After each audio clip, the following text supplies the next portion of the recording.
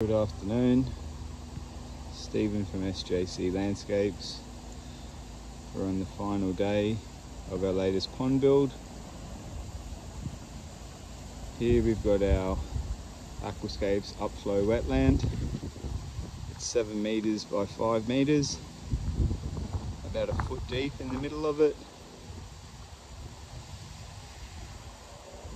Planted up with all these native rushes and grasses aquatic species from our wetland. We've got a split waterfall and then flows into an eight metre stream and then into our main pond which is 17 metres by 9 metres. Uh, this was supposed to be a four week build. We had rain every week for a day or two so that put us back about a week and a few extra things to do during the construction of the job as well. So about six weeks here. So we've got our tree stump, tree root there with split waterfall coming out of the wetland into our stream section here. A few stepping stones across the stream and then down into our main pond area.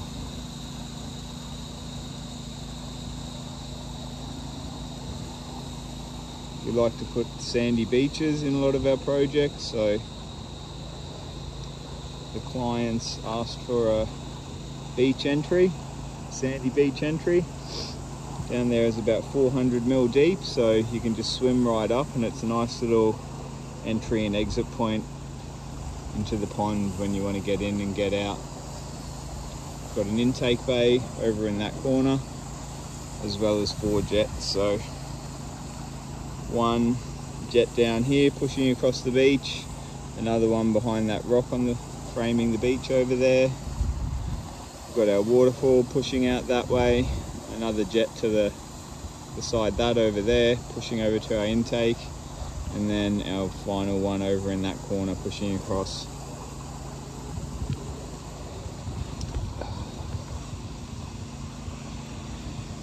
Had Kai and James helping out on this project. Massive thank you to those guys for helping bring this all together. Luke came down to help dig out and a few days at the end. So we've got our main waterfall out of the pond there that's about 800 high, about 600 wide. And We've got about 600,000 litres an hour going over that. We've got lights in underneath the main waterfall, a couple of lights in the stream, one lighting up that log.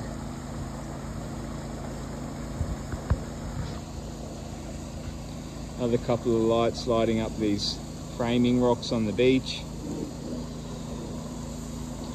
Lights all throughout the pond, down in the deep section and across these shelves.